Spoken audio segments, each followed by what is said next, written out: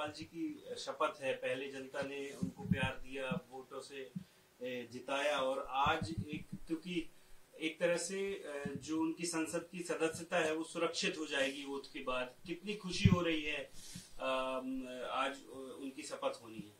नहीं, ये जी पूरे जो चार तारीख को रिज़ल्ट आने के बाद भी, पूरे पंजाब में, पूरी दुनिया में, सिख संगत में बहुत बड़ा उत्साह था, खुशी थी।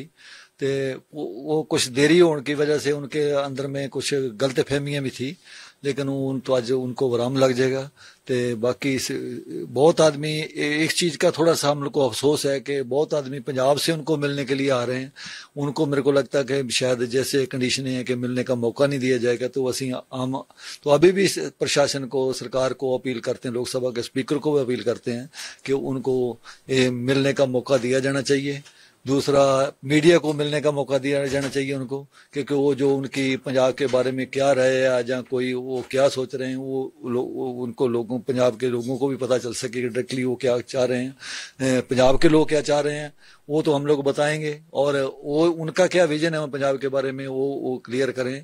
तो ये मेरे ख्याल काफ़ी बड़ी बेनसाफी है कि इतने बड़े जो मार्जिन से उनको पंजाब में सबसे ज़्यादा बहुमत से जताया गया।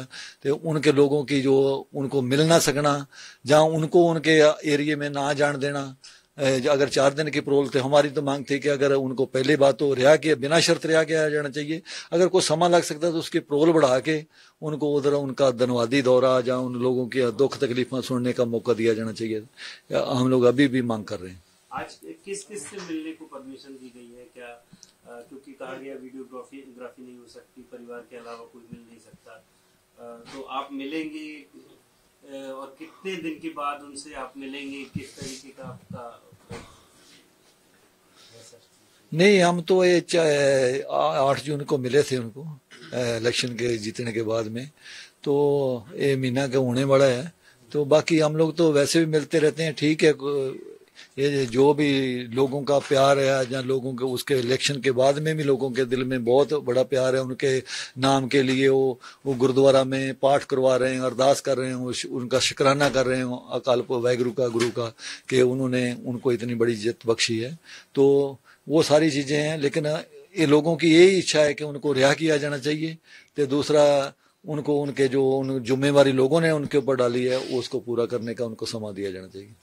सर, उन पे से एनएसए हटे इस बात की लगातार जो है, इस बात की भी लड़ाई लगातार चल रही है। वो भी जारी रहेगी और आप अपील भी करते हैं कि उनको अब क्योंकि जनता ने भी चुना है, सेवा कर सकें, वो जेल से बाहर आने चाहिए और उनके ऊपर जो भी ये चीज़ें हैं ये पूरी देश विदेश की जो पंजाब के लोग बाहर रह रहे हैं, देशों में, विदेशों में, किधर भी, वो सभी की यही इच्छा है और डिमांड भी कर रहे हैं। अपने वो सरकारों को भी बोल रहे हैं कि आप भारत सरकार को ये चीज़ के लिए बोलें कि उनको रिहा किया जाना चाहिए। उनको जो मनुखी अधिकार है, उनके है उनको सुरक्षित किया जाना चाहिए। लोगों की जो सेवा, लोगों ने मौका दिया उसको पूरा करने का।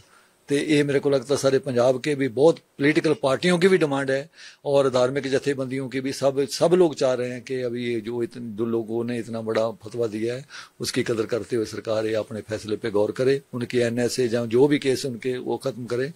अगर उसमें कुछ टाइम लग रहा है तो उनके लिए उनको प्रोल में किया जाना चाहिए thank you sir thank you